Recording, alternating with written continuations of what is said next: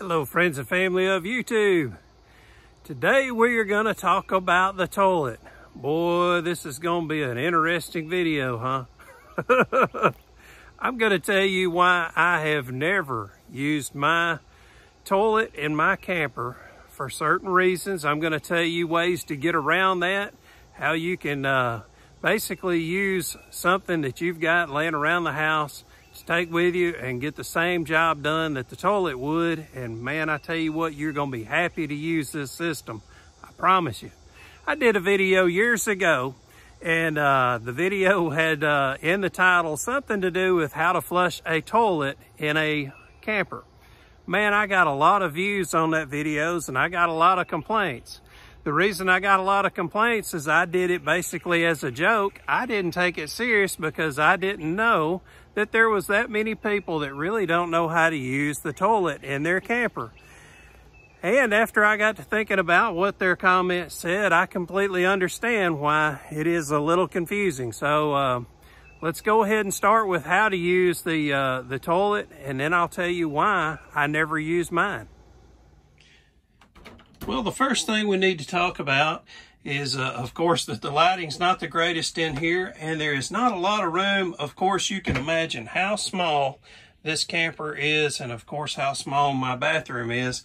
I do not have a lot of space in here to move around and get you the greatest video, but I'm going to try. To flush, just simply flush the commode. You can see my foot is going down here to a lever, and there you go. You can flush it. Water goes around. Now, if you were just going to do, uh, just take a leak, all you're going to do is take a leak. You don't need to do anything special. Ladies, I will tell you that you need to have you a garbage can nearby. Use that garbage can to put your paper in. Do not put the paper in the toilet. You would simply, when you get done doing your, uh, taking a leak, there you go you have flushed it down and the toilet rinses itself. Now let's say that you wanted to put something similar to a candy bar, a chocolate candy bar in this toilet. Well, you wouldn't want to just set it in there because it would start getting a mess all over the side of your toilet. So what you do is you take your foot and you just barely press down. And if you notice, it's not flushing, it is filling. Okay, so what you want to do is you get it up, get the water level up to where when you drop that candy bar, that chocolate bar in there, that it's not going to smear all over inside that toilet. So now once you get it to the point you want it, now you can do whatever you want to do and put that uh, candy bar, that chocolate bar in there. Now you've got it done. You put your toilet paper somewhere else. Do not put it down into the uh, into the toilet. You've got your business done. Take your foot, flush it. Woo, there it goes right down the drain. All right, so now let's talk about what I would rather do as opposed to using this toilet. All right, so what I like to use is a bucket. And if you notice this bucket is, is square and it's pretty decent size depth. Uh, I, I prefer using a square bucket versus a round. For any kind of liquid festivities, I always use the toilet in the camper. Liquid festivities, you're fine. Use that toilet in the camper all you want to. Man, I tell you what. But when it comes to if you wanted to get rid of a chocolate bar, here's what you're going to use. Use your bucket. So what I've done is I've taken and put two Walmart bags. Uh, these Walmart bags are not good for anything, but boy, they're good for this. So you want to put two in there because you sure don't want this thing to break. So you can imagine why.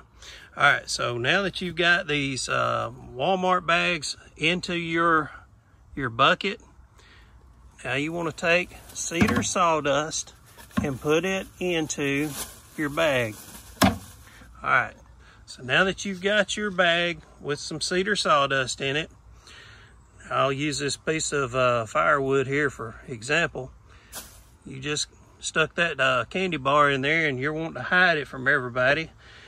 Well, now what you do is you take some more cedar sawdust, you put it on top of it, take your bags off your can, tie it up, Now you can throw it away.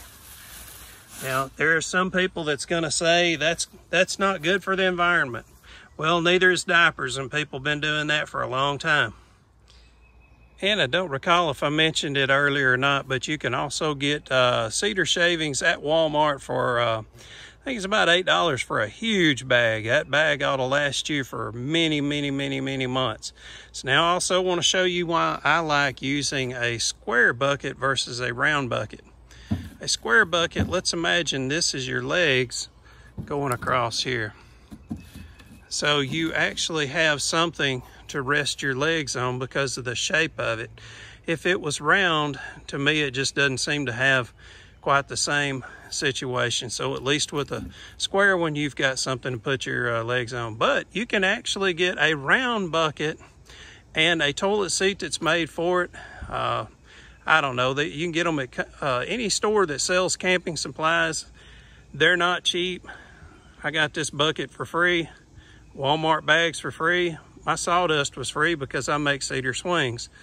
Uh, I use cedar lumber quite often. So for me, this was the most economical way to go about it. I didn't see any need in buying um, a round bucket and one with a, a toilet seat on there. But, you know, it would give you versatility. You could go sit it somewhere else and use it. Maybe, maybe either in, uh, if you have a van or something like that, that you wanted to give yourself a little privacy and uh, make it a little more comfortable, you could do that as well.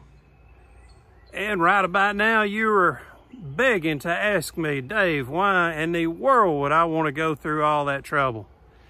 Man, that just seems like a lot of trouble. Why not just use the toilet? I'm going to tell you why. Because I have been at countless places throughout the years where I would ask the owner of the property, wherever I'm camping at, and I would say, hey, do you mind if I dumping out my shower water? And they would go, no, no, there ain't no problem with that. So I would be able, wherever I was, just to empty out my tank. Okay, now you can also ask them, hey, do you mind if I, uh, I, I, take a leak in my toilet, but I don't do anything any worse than that. And it'd be like, oh yeah, it ain't no big deal. I, I pee out in the backyard all the time. No, no big deal. So anyway, you can take your tanks and empty them wherever you are, as long as you got permission. I'm not, I'm not telling you to dump them out in the middle of a Walmart parking lot. But the reason why this works better is because as I told you, you don't put any toilet paper in there, so you're not gonna have any toilet paper on the ground. You're not gonna have any chocolate bars on the ground either. After a little bit of time, that water's gonna dry up. There's no evidence you were even there. Nobody cares, doesn't bother anyone, doesn't bother a thing. So um, that's why I love to do it. Now, here's another good reason why you wanna do it. Let's say that you had 50 gallons in there. That is nearly 400 pounds between your black and your gray tank. Why would you want to drive around with 400 pounds in your camper if you don't need to? Plus, I don't have to look for a, uh, a place to go dump. I have been pulling this particular camper since 2013. I have never one time ever had to pay to dump out my tanks. A lot of people would love to be able to say that, but I can. Seven years with this camper, not one time have I ever had to pay. Not to mention, if I want to, I can drag it home. I can dump it out in my yard. I don't have to worry about it. I know exactly what's in there. It's not a big deal to me. I can empty it right in my yard. Great. Well, folks, you've just watched me make the most uncomfortable video I've ever had to make. But hey, I appreciate y'all sticking around to, uh, to the end. I'm sure down in the comments below you can read some suggestions by other folks that have been doing this a long time and some full-timers. I love the people that use the comment section. Hey, it's just like a forum board. So uh, leave your comments down there too as well. And uh, man, it is scorching hot out here. I'm ready to get inside never look forward to editing video, but uh, I've got an air conditioner in there, so I am looking forward to that. Folks, I appreciate it. Hope to see y'all again real soon. Y'all take care. Bye-bye. Man, look how much sweat I got on my shirt.